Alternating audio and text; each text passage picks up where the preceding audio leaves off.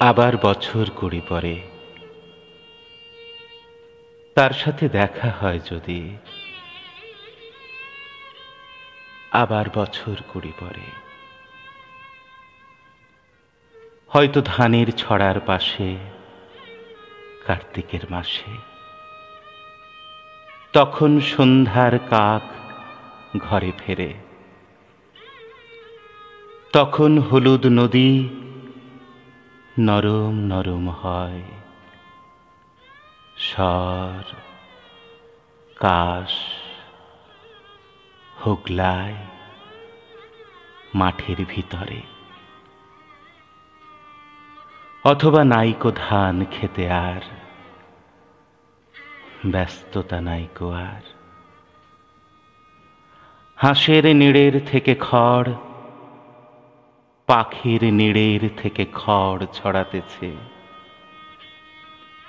Monier ঘরে রাত, শীত আর শিশিরের জল। জীবন গিয়েছে চলে আমাদের কুড়ি কুড়ি বছরের পার। তখন হঠাৎ যদি মেঠো পথে পাই আমি তোমারে আবার।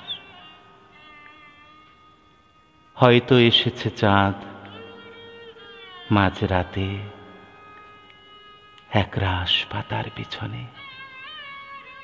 সরু সরু কালো কালো ডালপালা মুখে নিয়ে তার। শিরিষের অথবা জামের, ঝাউয়ের আমের। কুড়ি বছরের পরে। তখন তোমারে নাই মনে।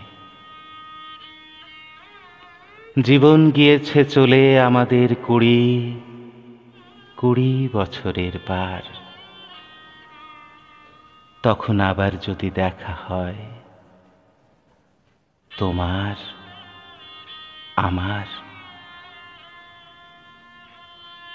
তখন হয়তো মাঠে হামাগুড়ি দিয়ে পেঁচা নামে, বাবলার গলির অন্ধকারে, অসথের জানালার ফাঁকে।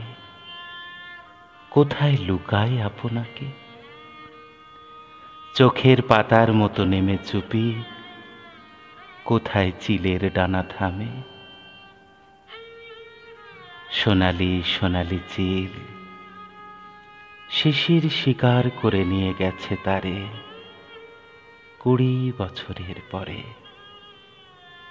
সেই কুয়াশায় পাই যদি হঠাৎ তোমারে